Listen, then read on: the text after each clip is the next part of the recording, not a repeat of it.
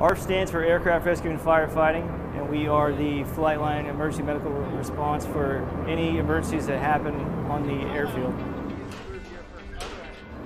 The MAFTEAT, which stands for Mobile Aircraft Fire Trainer, is a device that we use to train on technique and also for general confidence building in terms of wearing our gear and the ability to save lives, protect property, and really work as a team to accomplish the mission that's set forth.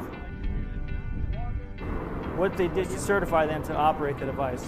There are several aspects that go into it in terms of selection of the site that you use for the MAFTEAT uh, to set up, the components that it entails, what kind of fuel it uses, and the safeties that are also inside the device that keep the uh, training safe.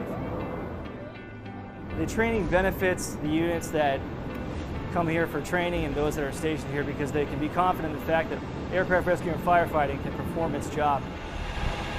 Without that fire and emergency response support, they would not be able to operate on the flight line.